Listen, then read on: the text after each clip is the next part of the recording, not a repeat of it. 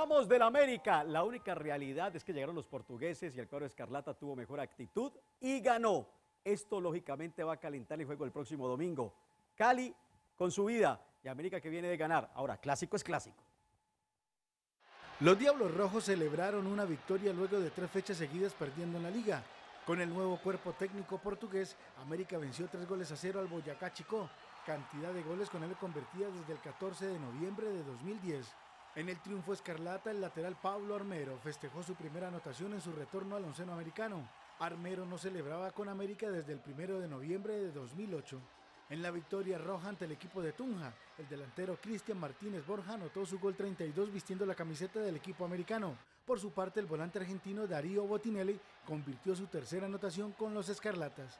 En la tabla de posiciones, Atlético Nacional es primero con 28 puntos, Deportivo Cali segundo con 25, tercero Atlético Junior con 23, cuarto Medellín con 22, al igual que el Once Caldas, sexto Atlético Huila con 21, Patriotas de Boyacá 20 y octavo Río Negro Águilas con 20. América se mantiene en la casilla 18 con 13 puntos y dos partidos aplazados con Alianza Petrolera y Medellín.